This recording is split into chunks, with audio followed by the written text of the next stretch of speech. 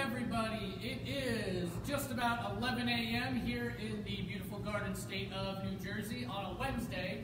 So that must mean we are here for our animal update. As always, uh, my name is Fred. I'm the director of guest programs here at uh, Liberty Science Center. Behind the camera is always Depeche. Hello. If anyone has any questions as we go about our animal update, you can send them in to Depeche. And also, as always, we have Mickey joining us at the beginning today. But we're not in our normal place for anyone who uh, joins us regularly for our animal updates knows that we always start uh, visiting our friend Mickey, seeing what he's up to. But we're usually not in this location. That's because today we're going to be visiting our marine animals, our underwater animals, up in our Our Hudson Home gallery. But we, of course, want to see what Mickey is up to, and the ever popular Nicole is Nicole. today. Nicole's here. Nicole is here. Uh, and if anyone has any questions about Mickey or any questions for Nicole while we have her here for the first few minutes of our animal update about what it's like to, to work in animal husbandry, what it's like to uh, be an animal keeper. And I'm sorry, I know we're having to like scan back and forth here, but we're doing our best to make sure we're being responsible and doing our social distancing. Also, let us know if we're not loud enough. Uh, it's a little louder up here than it is downstairs, so I'm trying to talk real loud. But uh, let us know if, if I still need to scream even louder. Uh, I'll also give you all a heads up. You may hear some banging throughout. We're doing a little roof repair today here at the Science Center. A lot of you can probably relate to that. A lot of you, I'm sure, have been at home doing some of those DIY projects you've uh, been hoping to get to for a very, very long time. So we're doing the same thing here. All right. So about, are we getting any questions, or maybe even We're getting some- telling us where they're from? Yeah, we're getting from uh, Hillsboro. Rox, Roxy says hi. Karen says hi from Hillsboro. Uh, let's see. We're getting a lot of hellos. Reno says hi. Who does? Reno. Reno. How's Yeah. it going, Reno? Yeah. So, for anyone who is, is new to our animal update, Mickey is our green-winged macaw. He is uh, about 39 years old, and they can live up to about 70 years old. So he has a long, long way to go. He is the world's second largest uh, macaw. Not him, but the green-winged macaw. Second only to the hyacinth macaw.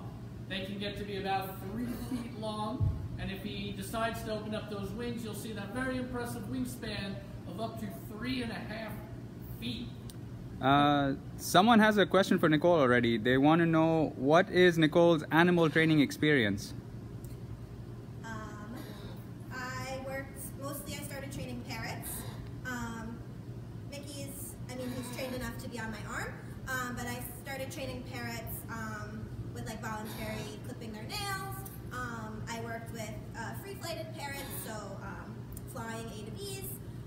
Which is like one point to another.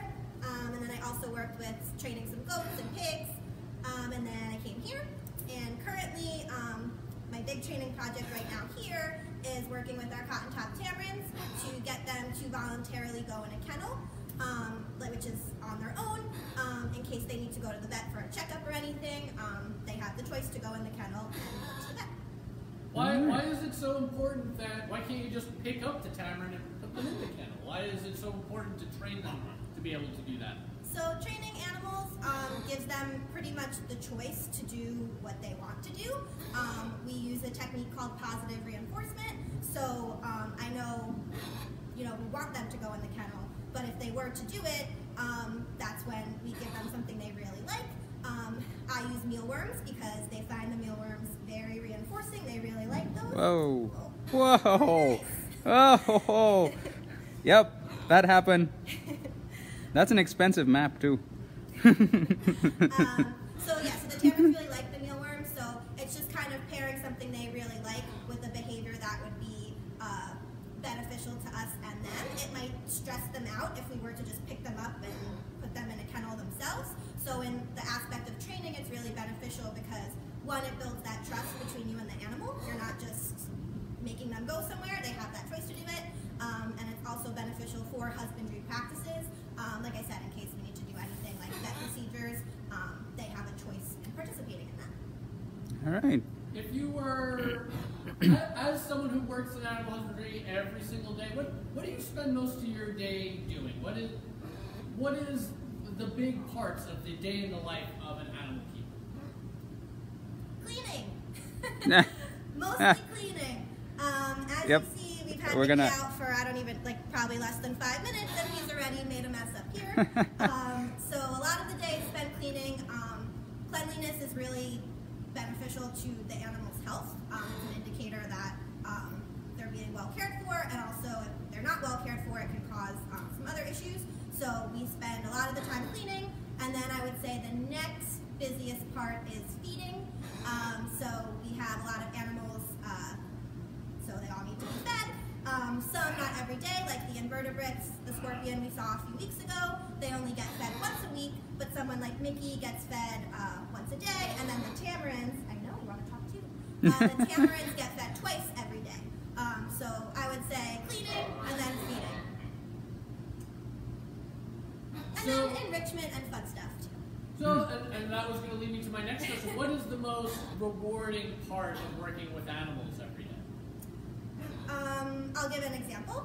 So, watching an animal interact with their enrichment is something that I find very rewarding. Um, the naked mole-rats, just as an example, are specifically my favorite because their natural behavior is digging and tunneling. So that leaves the door open for lots of different uh, enrichment opportunities that can have them exhibit that natural behavior that they would be doing um, underground in Africa. Um, so it's really rewarding to see an animal interact with the enrichment you give them and exhibit those natural behaviors. And I also, not right now because we're closed, but I love the opportunity for guests to be able to see the animals interacting with the enrichment because they also get to see one that the animals are well cared for, and two, um, they get to see some of those natural behaviors in action. All right. So, I, obviously, everybody who's tuning in, and hopefully, everyone, we're getting even more and more people. Hello, everyone. Yeah. Send us in your questions. We're getting a lot of highs and hellos from Hello, all over New Jersey. our tour of our Canada and visiting some of our Pennsylvania. water animals here shortly. Uh, but South Brunswick. While we have the wonderful Nicole here, um, everyone who's tuning in must have an interest in animals because that's why they're tuning in. And there might even be some people at home who are wondering how they might one day be able to have uh, a career in animal husbandry. So, Nicole, what advice would you give to anyone at home who would maybe one day want to work in animal husbandry? Get started as soon as you can. Uh, spend lots of time volunteering and doing internships uh, to get that experience with animals or even just being around um, other people that are caring for animals. Um, having that experience is something that's very important uh, later when you try to get a job uh, working with animals full time. Um, so I would say for our, our younger crowd, definitely spend that time uh, volunteering and getting internships. Even if it's even if one day you want to work with a parrot, a green macaw like Mickey. Um, I started out volunteering at humane societies with cats and dogs. Um, so any kind of experience you can get uh, doing that would be very beneficial for this career. All right. We're getting a lot of hellos from people, uh, but they also want to hear Mickey talk. Uh, you want to talk? Nah. So I don't know if you can hear how well like people at home can hear, but while I was talking a lot, he was like little chattering. Um, so not speaking English like me, um, but speaking parrot, he was doing a little bit of chattering, more so than what he's doing now. Ah. So if anyone at home speaks macaw, he's talking right now. Uh, he's just not using his English words. Um, so Mickey has the ability to uh, say some human English words. He is not. Uh, he doesn't do it as much as maybe some other parrots do. Maybe like an African gray parrot. He does have the ability to say his name. I know he says hello. Uh, what other does he have? A few other favorite words, Nicole? The other day, for the first time, I heard him say what. And um, when he gets really excited and he's on his perch and I'm like talking to him, I'll go, what, what, what? and so he actually said that the other day, not while I was saying it to him, but I was putting him back um, on his perch with some new enrichment. So Uh-huh. that must have been something he associated with being stimulated and excited. Um, sometimes when the phone rings in um, our animal care center where he is, um, he's heard the phone ring and I've heard him say hello before, Okay. before we say it. Um, so I would say hello, his name, what, and he does like an evil person laugh, so like a ha ha ha. that would be fun to He watch. Doesn't necessarily do it on cue, but he, he has that ability. But he definitely makes lots Yeah. of sounds. He's making. You can hear at home. He's making some sounds now. Yeah. Uh, if you've been on any of our previous animal updates, you know he can also get very very loud. He Mhm. can actually scream at over 100 decibels, which is Mm. the equivalent of say a snowmobile or a motorcycle. Uh, and where he would be from in the wild in South America in the tropical forest, he needs to be that loud in order to uh, have his voice heard through the very thick vegetation. All I think we're gonna we're gonna say uh, uh, thank you and goodbye to Nicole and Mickey, and we're gonna start our tour of our Hudson Home. Thank you so much for joining us, both of you. Thank you guys. Have fun with the fish. Alright. All right, we're gonna go. As Nicole said, we're gonna check out some fish. So come on into our Hudson Home. Now, our Hudson Home is a gallery all about the Hudson River. The Hudson River is America's is considered America's first river. It's over about 315 miles long, and the gallery we're about to enter shows the relationship between the millions and millions of people who live and work around the river every day, the animals and plants that call the river home, and of course the physical river itself. And we have some very large uh, aquaria, tanks or aquaria in here. We're going to visit our first one, and we're going to kind of work our way up the river. So this is our open harbor tank. This aquarium here Wow. holds 7,000 gallons What? of water. 7,000 7,000 gallons. so, so if you have, if you open your refrigerator, you don't have to go do that right now, and open it up and you see you have a gallon of milk, this is the equivalent of 7,000 of those in this tank here. And we do not this 7,000. water in Look at this guy. harbor.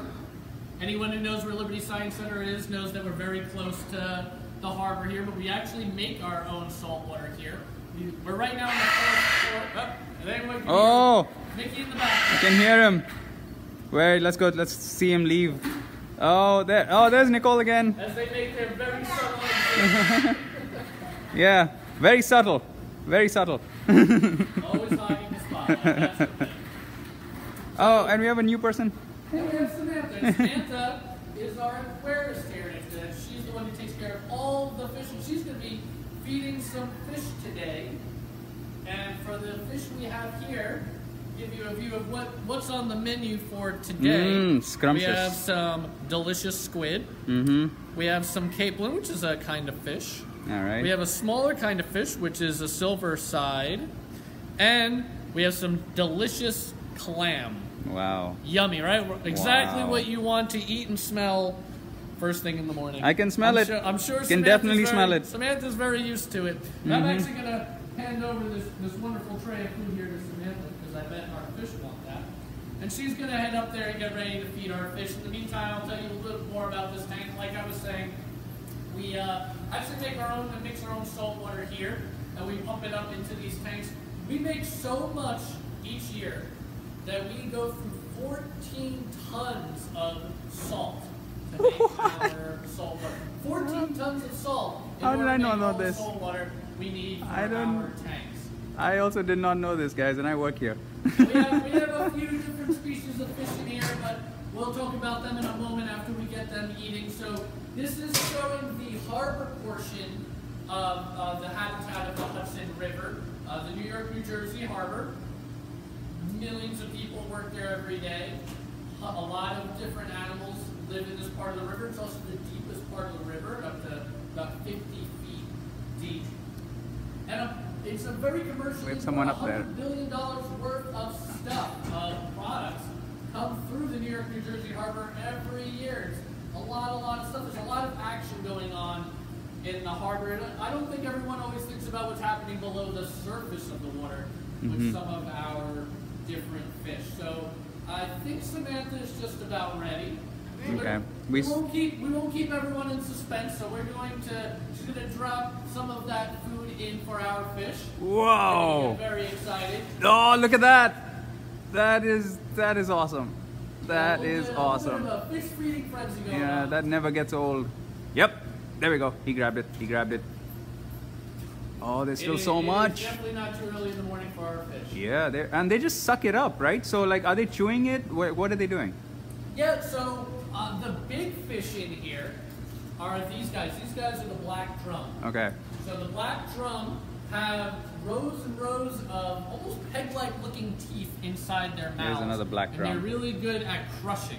So Oh, they wow. do chew, and because what they like to eat is so they love things it. like clams Yeah, grab it. deep in the uh, that are buried in the mud and the sand, and they suck them up out of the sand, and then they smash the shells together. So they they have very very powerful bites, and they're called black drum because they have uh, an organ in their body called a swim bladder that helps them with their buoyancy, and they're actually able to make a very loud bass-like drum-like sound with Here's one. that swim bladder. So that's why they're called black drum. And how big do they get? They are the, or they will be, these guys are actually nowhere close to full grown. They'll get quite a bit bigger. But the black drum can get up to nearly six feet long and weigh over a hundred pounds. So our, our black drum here are nowhere near that size yet. but they will 100 pounds. You know what? That's really almost as heavy as me. much, much bigger. and then the other fish you're seeing a lot of in here, uh, if you have in any aqua- a freshwater aquarium at home, maybe you, you think those are like angelfish or something like that, right? They're called permit. Permits, yeah, They're They're are. another large fish. Sorry. I'm gonna zoom out. they're about, some of these guys are about as long as they're going to get, but they can get pretty heavy themselves. That's maybe one. not 100 pounds, but up to maybe like 80 pounds our permit can get. And you'll see that they have a, almost like that classic what you would think of like an angelfish body. We're going to talk a little bit about fish body shape. That is called a compressed body shape. So they're compressed like a, like a pancake, but vertically. And the reason why a fish might want to have a body like that is it means they can be very fast in the short bursts, Mhm. but it also makes them very maneuverable. So they're able to turn on a dime really fast. And usually if you see fish like that, it's fish that are living around reefs and shipwreck, shipwrecks and underwater structures. And that's exactly where permit like to live. And you can see in here we even have some reef balls, Okay. and that would be a habitat that permit love to be around. So we're getting a question about are these um, edible? Are these edible?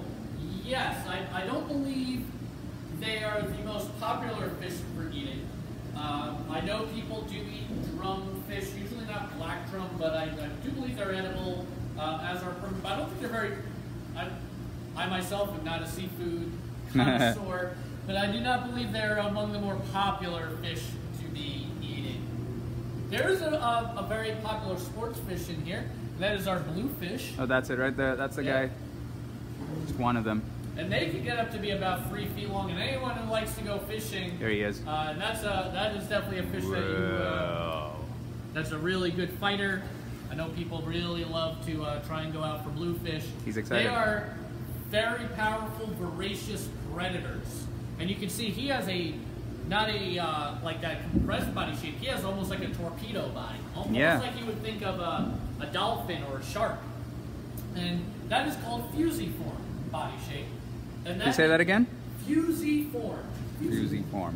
There, there's uh, one of our vocab words for the day. Yeah, And fusiform. It's a, a, a body shape like a torpedo that lets a fish go really fast for a really long period of time. So usually, if you're a predatory fish and you want to chase after something, want to have that torpedo-shaped body so that you don't have a lot of drag and you're able to chase your food. Mm. And bluefish are very, very voracious predators. In There he is again. they're known to even to attack entire schools of fish and to keep attacking them even after they're full.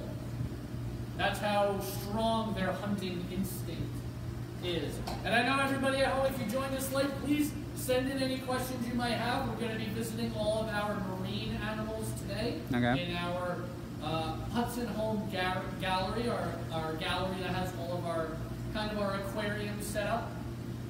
And we're going to be So- visiting two more tanks after this. And we're also going to feed them all the animals at every tank too. So we're getting uh, a question about the feeding. That's a good question. How many times do they feed a day? Only once. Only once. Only once. So fish, they're cold-blooded. They're not like us. They don't need those three square meals and uh, maybe some snacks in between like we do. They're cold-blooded animals, so they don't require nearly so much food. And actually, I, I bet anyone, probably a lot of people at home, probably have an aquarium.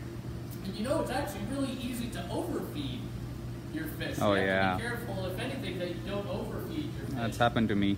So you can see we have a we have quite a number of large fish in here. It was probably hard to see just how much uh, food Samantha dumped in there, but it wasn't all that much compared to the number of fish. Uh, just maybe a few pounds or so of food, in on this guy. and that's because they're cold-blooded animals. They don't need to eat quite like warm-blooded animals like us do. Yeah. So they are they are from the Hudson River. This Yeah. is from the Hudson River.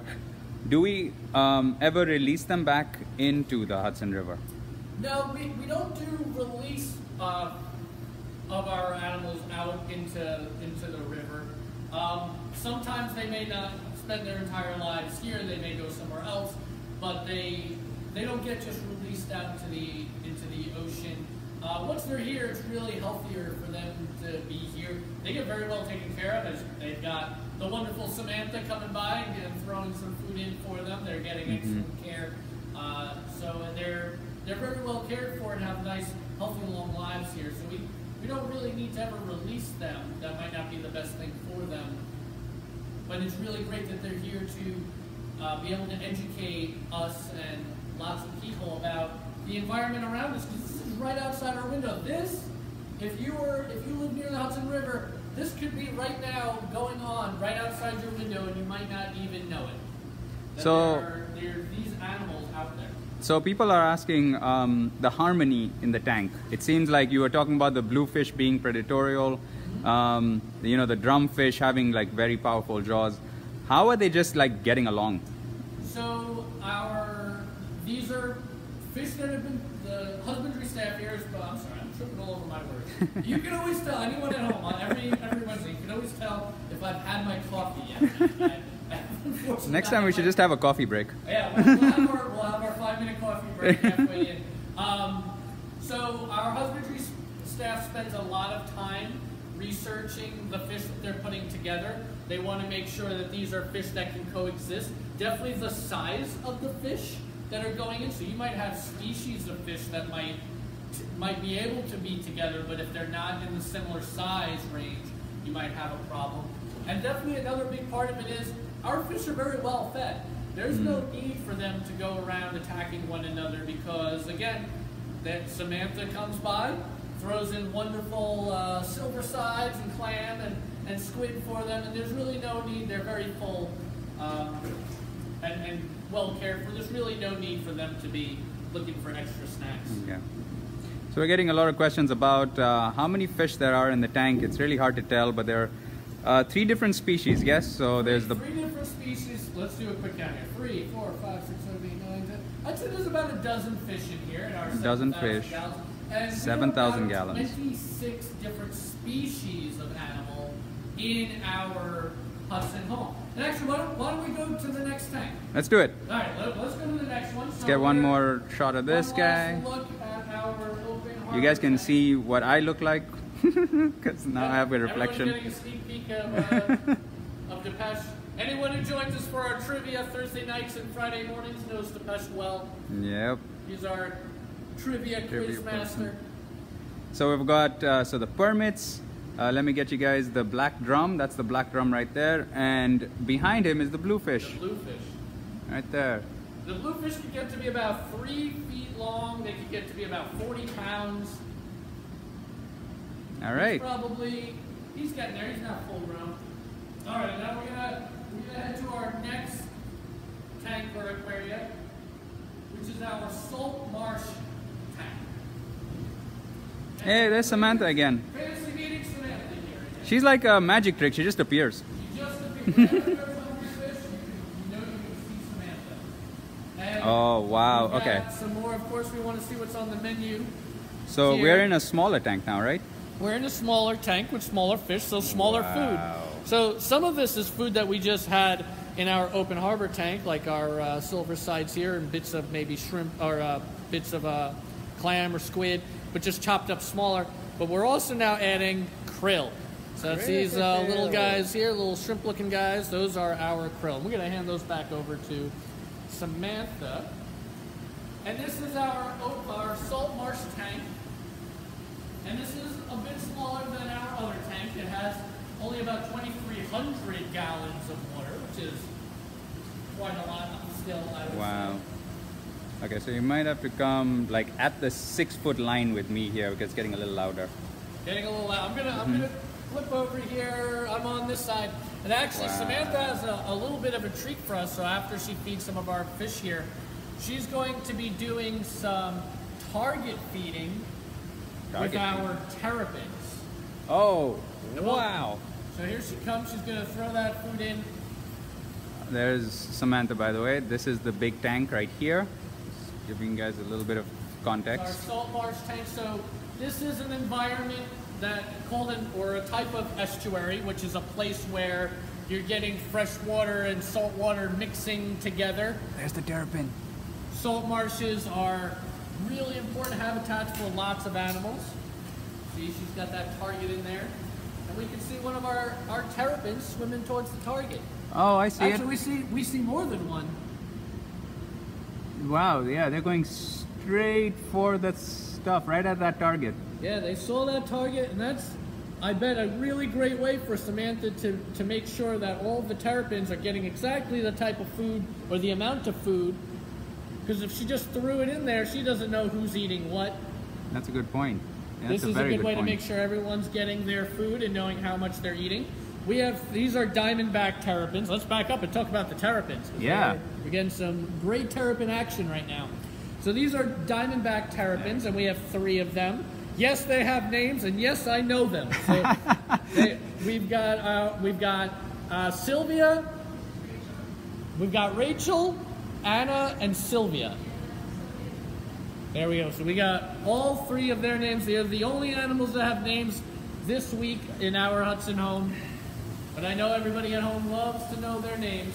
There's Samantha feeding them. So diamondback terrapins, you might ask, well, what's the difference between a terrapin and a turtle? Well, terrapins are types of turtles. Uh, a turtle would be considered a terrapin if it spends a lot of its time or most of its time in brackish water. So brackish water is that mix of fresh water and salt water. And actually, the diamondback terrapin is the only turtle in North America that spends its entire life in brackish water. And it might even be the only one in the world. It definitely is in North America. Oh, we got an intruder. We got an intruder. We'll get to him in a second. Okay.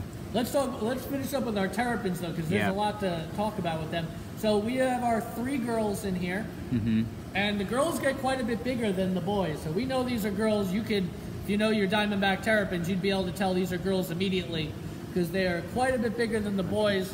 They can get um, at least up to nine inches long, if not a little bit bigger. Our female terrapins, while the boys, they rarely get up over six inches long.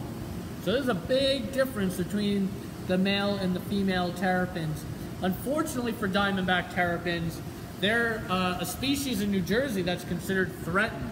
Oh no. And there's a couple reasons why. And one, long, long time ago, 100 years ago, at the beginning of the 1900s, they were collected often. A lot of them were collected, believe it or not, for food.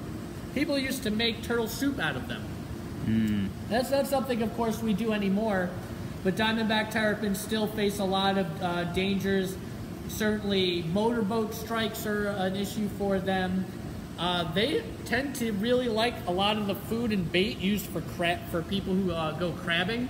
So sometimes they get stuck in crab traps, which can be fatal to them. And another really big problem for them is habitat loss, especially roads.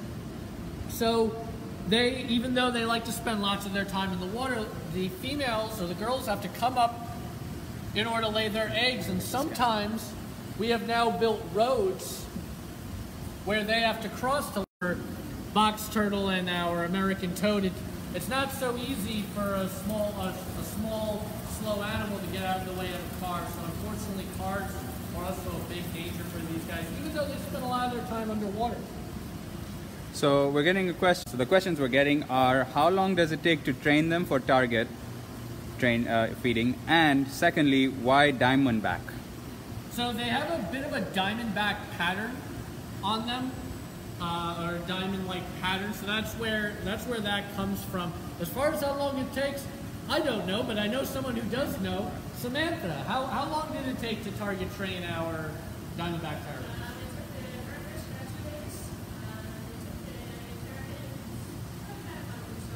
About a month. About a month. For anyone who wasn't able to hear, she said about a month for the oh, terrapins. Yeah, they are. She also mentioned that the burrfish is trained, and it only took two days to train the burrfish. Why don't we Why don't we talk about those burrfish? Where is that burrfish? There he is. We have one over there, and we have actually another one going to the target Oh, over by Samantha. okay.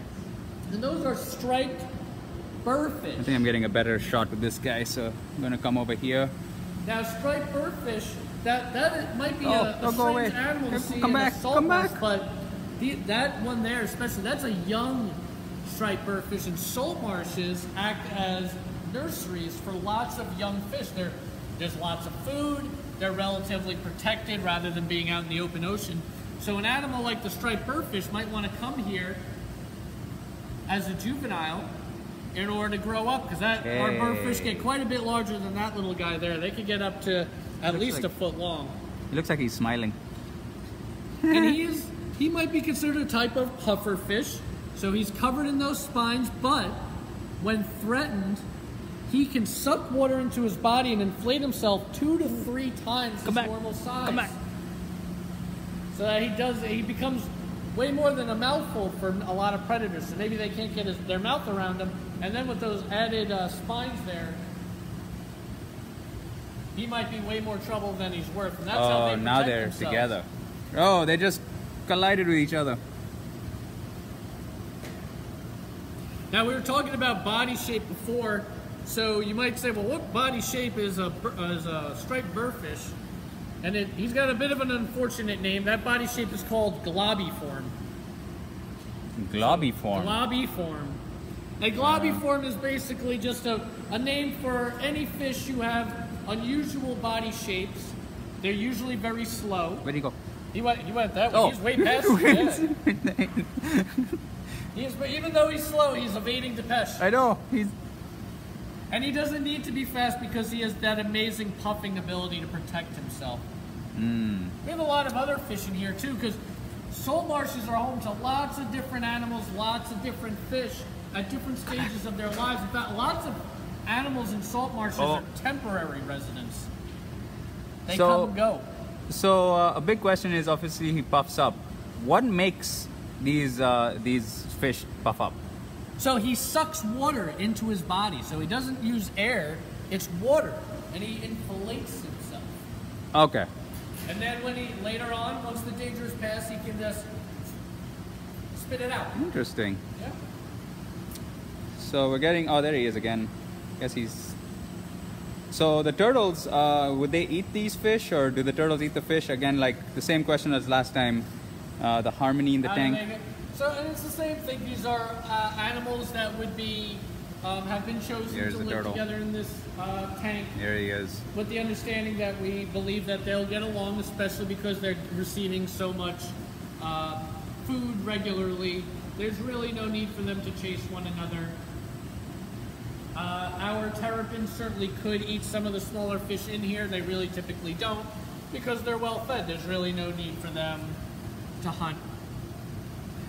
We can take a look at some of the some of the bigger fish back there, and they have almost like uh, here this big guy coming along here. Oh yeah. He's a striped mullet. Striped mullet. Mullet. Okay. Striped mullet. And if I don't get a haircut soon, I'm gonna have a brown mullet here in another week or so. Um, Where's he? Where's he? so oh, there he he's is. A, he's a striped mullet, and he's about full grown. That's about as big as they get, about a, Whoa, he's a quick. foot and a half. And he likes to eat very small food, so he eats planktons and things like that. And he, they're really important to the environment because lots of algae and stuff grows on the sand, and they like to come along and, and suck up the sand almost like a vacuum cleaner, Yeah. and they sift out the microscopic food, That's and then right they there. spit out the sand. Oh, And that's almost like how they uh, how the sand and the sediment is is kept healthy by animals like that. Almost like if you had a garden and you went and turned over the topsoil. It's There basically what our bur our uh, not our burrfish, our mullet are doing. So it seems like he has that very torpedo-like shape as well, right? Yes. So any purpose of that? Is he also a predator style? So he's he's not necessarily a predator. He's he's really going for more small, uh, smaller prey. But he himself might be prey for something larger, right? So Mhm, there's there still definitely a benefit to having that fusiform body shape in order to be very fast. But he might be using it less for catching things and more for trying to get away Oh, from things. Oh, look at him. He is very like impressive. now he knows. Now he knows he's like on camera. He knows. Yeah. We're gonna just complete, completely anthropomorphize here. There he is. You see? He yeah, is. he's, he's now he's doing a show. We have lots of smaller fish in here. I think a really, So let's see. a really great Let's one are these guys. some of these. Um, we have. It's kind of a hodgepodge of different species here. We have these are silver side, and we know Mm-hmm. These the silver guys? side because we've been feeding a lot of our fish today. Oh, no. Silver side. Here are some living silver side. Oh wow. We have, if you see any fish that have stripes, small fish, those are striped killifish. And striped killifish, one good neat thing about them is you can tell if it's a male or a female based on which direction the stripes go. Oh really? So oh, boys, cool. stripes go up and down, vertical, Mm-hmm. and females, girls, their stripes go side to side, horizontal. So do fish sleep? Do fish sleep? Fish do go into uh, um, a resting state for sure, yeah. Okay. And one other one one we really need to talk about, and actually they're fighting over those fish back there, fighting Oh, over it. yep. Those are, those guys little are guys. those are mummichog. Say it again. Mummichog. Mama chug. Mummichog. And if you ever go to uh, pass by a creek or anything like that, and you see fish in there, Mama probably you're gonna see they're mummichog. They're very common, and their name is a uh, Native American word for going in crowds. And as you can see, that's what they like to do. They like to be in big crowds. They can make create schools of up to several hundred. But what's really cool about mummichog is that little fish, that little fish right there, mm-hmm. is one of the toughest fish in the entire ocean. Interesting. One of the toughest fish there is. Why do you say that? These fish can withstand lit being in water that is near boiling. Hmm. They can withstand enormous These temperature guys. ranges. Them. They can live in water that has low oxygen. They can live in water that is fresh water all the way up to several times the amount of salt in salt water, wow. seawater. And in the winter when it gets cold, you know what they do? Hmm. They bury themselves in the mud. This is a fish that digs. They dig themselves down into the mud and Yeah. wait for it to get warmer. They can dig up to eight inches deep. So they're a really tough little fish. Um, we're getting a question about uh, little fish. Uh, we were talking about krill earlier. Is that what whales eat? Krill. Whales, do, some whales do, yeah. So the ba- baleen whales, uh, which are some of the very largest whales, do eat krill. So, which is kind of almost strange to think about that the largest things in the ocean are eating some of the very smallest things in the ocean. But they, uh, some of the very largest whales, like even the, the largest animal of all, the blue whale, eats tiny animals like that, tiny krill. Mm. But some whales are toothed whales, and they don't eat krill, like a, Ah. like an orca. Like an orca. Do we have any last questions about our salt marsh before we go No, on it to seems our like last? it seems like we're done with the last one. questions. All right, why don't we why don't we move on to our last tank or last aquarium? Last tank. And there's Samantha again. things must come to an end. Yeah. And we see Samantha again. Anywhere there's fish, you'll find Samantha. And whoop, we'll get one more last look here. You can see what's on the menu for this one. It's it's actually pretty much the same food As the first from one. our first one, but you can see a little bit smaller because uh, we don't have our fish in this tank. What is that? Those are those are the ten- the tentacles from our squid. I'm pointing at this little. So, oh, yeah, that's the Oh, that's the at that. tentacles and part of the head of Mm. our of our squid. So delicious. delicious. Absolutely. I know. And I feel like it having smells sushi. even better than it looks. I promise you. Sushi. I had sushi right, we're this gonna, week. We're gonna hand that over to Samantha, and she's gonna get ready.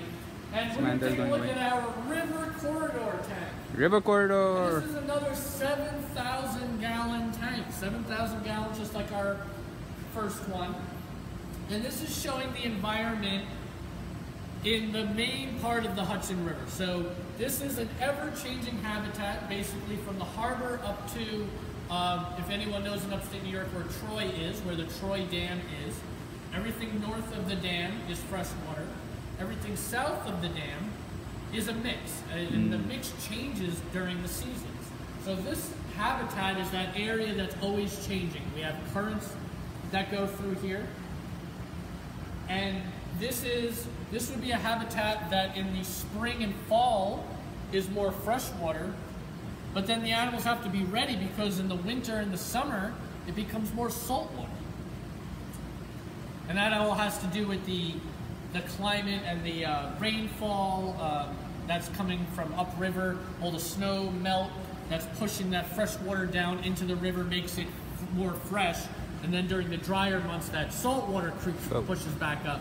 It's like a constant tug of war between the fresh water and the salt water. So these are highly adaptable fish. And there's about 200 species of fish that can live in this part of the river. And we have several here. And oh, here comes the food. Whoa, there's the food. the food. There's the food.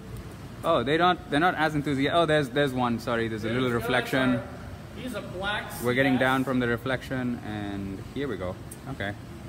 Black sea. Yeah, they're, they're not as uh, energetic about They're not- food. no. They're being a little No. camera shy, I think.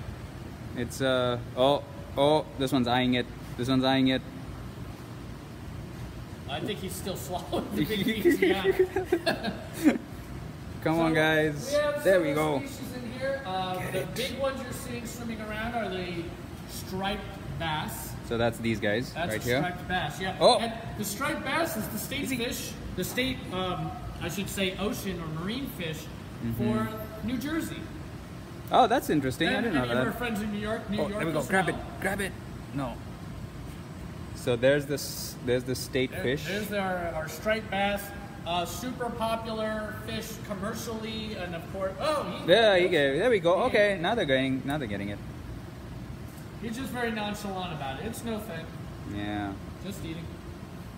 So we're asked uh, why are there rocks? Why is the terrain rocks? So uh, this area that they're trying to recreate in the river has a rockier bottom. So that's why they might have those rocks there. And depending on where you are in the river, it can be sand, it can be mud, it can be um, rockier. Uh, we have these um, kind of faux pillars in there, maybe showing where uh, these fish, kind of showing like maybe an area around the dock would be. Let me see if I can get this these two right There's here. lots of different uh, kind of microhabitats Oh, as you go grab it. through. Almost there. Uh, Missed this it. one, this one's one of my favorites. This is a pretty fish coming over here. That little guy That's there. a northern kingfish. That's a kingfish. Oh wow, it's northern little. Kingfish. Northern kingfish are, are really neat. There, so he's a uh, bottom bottom fish. So he's. Oh, is he's he gonna got- grab the big piece? He's gonna. I don't, He's- know, I don't know. A little too big for him. He's gonna have to take a bite off. No, he's Yeah, take. Oh he's yeah, there we go. He's going for it. That's me at a buffet. And he has little little whiskers on his chin called barbels. And he that's what that northern kingfish uses to find his food. So he's Ah, using that to sense. And actually, our black drum have those too. But so he drag. He's a bottom dweller, and Mm-hmm. he likes to cruise around on the bottom using those barbels to sense for food beneath him. Uh, he's way out. Which one's this one? That is the black sea bass. So these are black sea bass.